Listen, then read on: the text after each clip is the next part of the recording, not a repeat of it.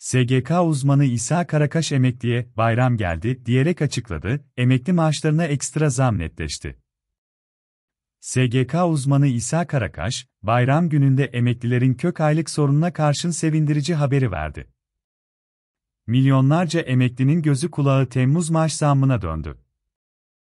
5 aylık enflasyon farkına göre emeklinin %22,72 maaş zammı kesinleşmişti.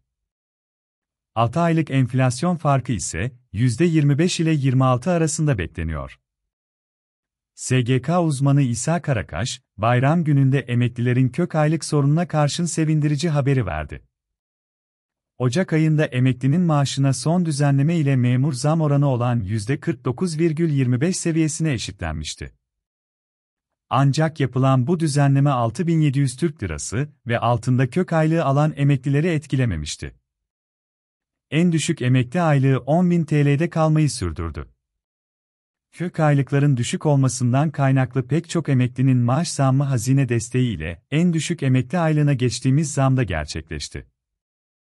Emekliler ise bu soruna karşın tepkilerin her geçen gün sosyal medya hesapları üzerinden dile getiriyor.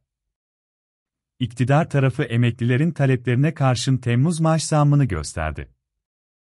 Temmuz'a az bir süre kala emeklinin 5 aylık maaşı %22,72 oranında kesinleşmişti. Son bir aylık verinin de eklenmesi ile birlikte maaşlar belli olacak. Merkez Bankası'nın tahminine göre enflasyon farkının %25 ile 26 arasında çıkacağı yönünde. Fakat yapılacak olan maaş zammı 10.000 Türk Lirası altında kök aylığı alan emekli maaşlarına pek etkisi olmayacak. SGK uzmanı İsa Karakaş ise, kök maaş sorununa karşın üçüncü formülün iktidar tarafında devreye gireceğini söyledi. Karakaş, 8 bin Türk Lirası alan bir kişinin devletten şu anda hazineden aldığı 2000 Türk Lirası, %25 eklediğimiz zaman 12.500 lira olacak. 10.000 Türk Lirası alan ise 12.500 Türk Lirası alacak.